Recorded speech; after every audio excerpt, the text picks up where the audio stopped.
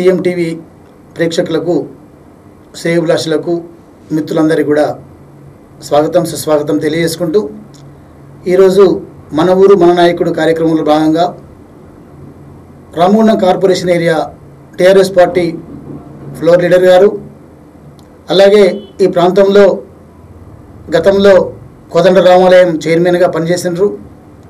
అలాగే TRS party అభివృద్ధిలో ప్రధానమైన పాత్ర పోషిస్తూ ఈ ప్రాంతంలో పలు సుపరిచితగా ఉన్నటువంటి యొక్క గౌరవనీయులు సత్యప్రసాద్ గారు మన యొక్క మన స్టూడియోకి రావడం జరిగింది. వారికి స్వాగతం సుస్వాగతం తెలియజేసుకుంటూ సత్యప్రసాద్ గారు నమస్కారం సార్. నమస్కారం సార్. సో మిమ్మల్ని ఈరోజు మన ఊరు మన నాయకుడు కార్యక్రమంలో భాగంగా మన మా స్టూడియోకు మిమ్మల్ని ఆహ్వానించుకోవడం జరిగింది. మా ఆహ్వానాన్ని మన్నించి మీరు వచ్చినందుకు మరోసారి మీకు కృతజ్ఞత తెలియజేసుకుంటూ స్వాగతం సుస్వాగతం తెలియజేసుకుంటున్నాం సార్. సో ఈ యొక్క పరిచయ కార్యక్రమంలో భాగంగా మీరు ఈ యొక్క రామగుండం కార్పొరేషన్ పరిధిలో గోదావరి కన్లో ఎప్పుడు వచ్చిన ఇక్కడికి మీరు? మీ పేరు నాన్నగారి పేరు అమ్మగారి పేరు మీరు పుట్టిన స్థలం మీరేం చదువుకున్నారు అనే మీ పరిచయ కార్యక్రమాన్ని తెలియాల్సిందిగా మొదట మిమ్మల్ని ఆహ్వానిస్తున్నాం. ఈ గోదావరికని పట్టణానికి పంతొమ్మిది వందల యాభై మూడవ సంవత్సరంలో గోదావరికని పట్టణం ఏర్పడకముందు జనగామ గ్రామానికి మా నాన్నగారు సుల్తాన్బాదు వాళ్ళ స్వస్థలము అయినప్పటికీ కూడా వాళ్ళు ఉద్యోగరీత్యా అప్పుడున్నటువంటి జీవనోపాధి దృష్ట్యా వాళ్ళు కాగజ్ నగర్కి వెళ్ళడం జరిగింది. అక్కడి నుండి కాగజ్ నగర్ నుండి జనగామ పట్టణానికి వచ్చిన తర్వాత ఈ ప్రాంతంలో బట్టల అమ్మే కార్యక్రమంలో భాగంగా ఇక్కడ ఉన్నటువంటి ప్రాంతాలలో బట్టలు అమ్మే వృత్తిని ఎంచుకొని మా నాన్నగారు ఇక్కడ తన జీవితాన్ని ప్రారంభించాడు. మా నాన్నగారి పేరు ముప్పెటి రాజేశం అమ్మగారు సరోజన గారు మా నాన్నగారు రెండు వేల తొమ్మిది అసెంబ్లీ ఎన్నికల సమయంలో ఎన్నికల సమయంలో అప్పుడు చనిపోవడం జరిగింది దురదృష్టవశాత్తు నేను పంతొమ్మిది వందల డెబ్బై ఐదు సంవత్సరంలో గోదావరికని లక్ష్మీనగర్లో జన్మించడం జరిగింది నేను ఇక్కడే విద్యాభ్యాసం స్థానికంగా వివేకానంద పాఠశాల వరకు నాలుగో తరగతి వరకు ఆ తర్వాత యూపీఎస్ తర్వాత జెడ్పిహెచ్ఎస్ అంగడిబడి అంటారు జిల్లా ప్రజా పరిషత్. ఉన్నటువంటి ప్రముఖులందరూ కూడా. దాదాపుగా అప్పుడు ఉన్నటువంటి ప్రైవేట్ పాఠశాలలు లేవు కాబట్టి అందరం కూడా యూపీఎస్ జెడ్పిహెచ్ఎస్ స్కూల్లోనే అందరం కూడా చదువుకోవడం జరిగింది. టెన్త్ వరకు చదువుకున్న తర్వాత ఇక్కడే జూనియర్ కాలేజీలో ఇంటర్మీడియట్ పూర్తి చేయడం జరిగింది. ఇంటర్మీడియట్ తోటి విద్యాభ్యాసం ఆపేసి నాన్నగారి వ్యాపారాన్ని స్వీకరించడం జరిగింది.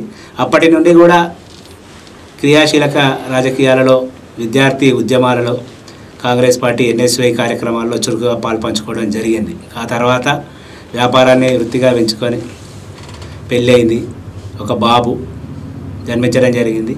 ఆ తర్వాత రాజకీయాలలో ఇంకా ముందుకు వెళ్ళడం జరిగింది. ఇప్పుడు మనం చాలా వరకు ప్రతి తల్లిదండ్రులు కోరుకునేది ఏంటంటే నా కొడుకు ఒక మంచి ఉన్నత చదువు చదువుకోవాలి ఉన్నత స్థాయికి ఎదగాలనే ఆలోచన అనేది తల్లిదండ్రులకు ఉంటుంది. అది కూడా ఈ రోజు ప్రజ మన మన చదువుకునే ఉండే వాళ్ళందరికీ ఉంటుంది కదా. ఎందుకు మీరు చదువు పైన మమకారం పెట్టలేదు? రాజకీయాలకు ఎందుకు వచ్చిండ్రు?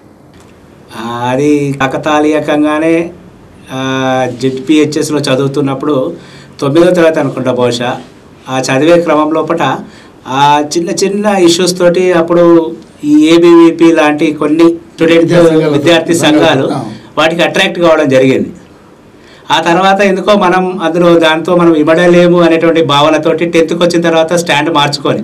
ఇంటర్మీడియట్ స్థాయి లోపల కాంగ్రెస్ పార్టీలో నాకున్నటువంటి చిన్న చిన్న పరిచయాలు లక్ష్మీనగర్లో ఉండడం అక్కడికి అందరూ లీడర్లు రావడం అప్పుడు కాంగ్రెస్ పార్టీ పారిశ్రామిక ప్రాంతంలో బలంగా ఉండడం ఆ నాయకత్వంతో ఎందుకో నేను ఎన్ఎస్యుఐలో జాయిన్ కావడం జరిగింది.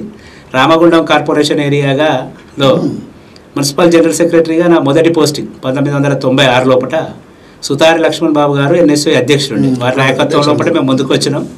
రాజకీయంగా నాకు ఓనమాలు దిద్దుకున్నది కూడా బహుశా నాకు తెలిసి కళ్యాణ్ నగర్ ఆ ప్రాంతంలోనే. అప్పుడు ఎస్డి అన్సారి గారు ఉండే వారు బాగా ఇంట్రెస్ట్ ఉండేది. దురదృష్టవశాత్తు వాళ్ళు చనిపోయారు. తను నాకు బాగా కాంగ్రెస్ పార్టీ రాజకీయాల్లో లిఫ్ట్ చేశాడు ఆ కాలంలో. ఇప్పుడు ఆయన మన మధ్య లేరు. స్టార్టింగ్ మీకు ఎంట్రన్స్ అనేది కాంగ్రెస్ పార్టీ ఎన్ఎస్ఏ తోటి మీరు ప్రారంభమైంది. అవును. ఎంత ఎంతకాలం ఎన్ఎస్ఏలో పనిచేసిండ్రు? ఇంకా కాంగ్రెస్ పార్టీలో ఏమైనా పదవులు చేసిండ్రా?